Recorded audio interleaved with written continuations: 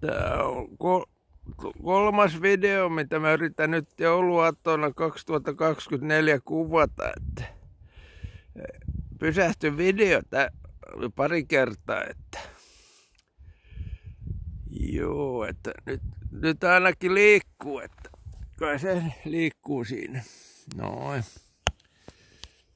No niin, yritetään nyt tänään. Siis jouluaatto 24.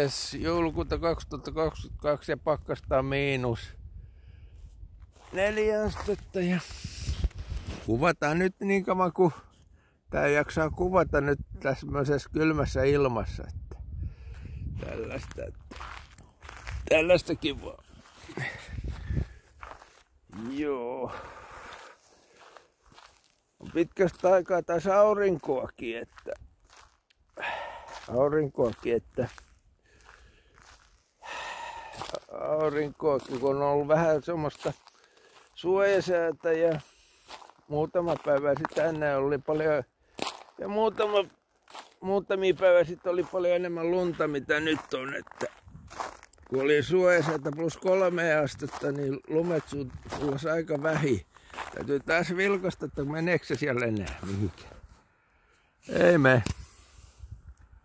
Ei me.